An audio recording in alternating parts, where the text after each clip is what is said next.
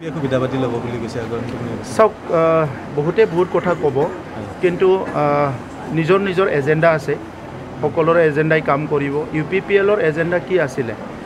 দুই হাজাৰ পোন্ধৰ চনত ইউ পি পি এলক ইউ জি ব্ৰহ্ম ডাঙৰীয়াই যেতিয়া জন্ম দিছিলে তেতিয়া বি টি আৰ অঞ্চলত মানুহবিলাকে থাকিবলৈ পৰা পৰিৱেশ নাই বুলি বহুতে এৰি এৰি গৈছিলে।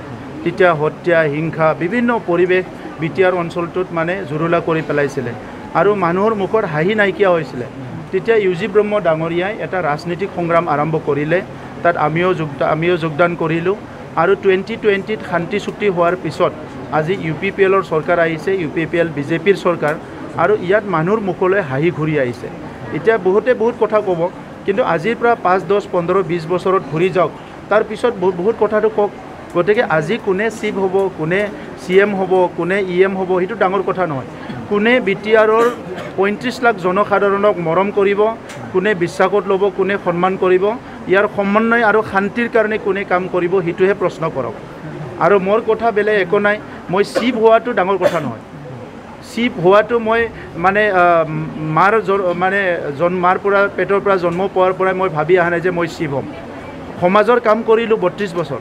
তাৰ পিছত এতিয়া এটা সমাজে দায়িত্ব দিছে সেইটো দায়িত্ব মই লৈছোঁ। আৰু মোৰ তেজত বা মোৰ তেনেকুৱা চিন্তাবিলাক আহিব দিয়া নাই যে চিফ হ'বই লাগিব। এইটো দলে সিদ্ধান্ত কৰিব নিজৰ নিজৰ দলে সিদ্ধান্ত কৰিব। গতিকে কোনে কি এজেণ্ডা আছে এইটো নিজে নিজে ৰাখক ৰাইজে ঠিক কৰিব।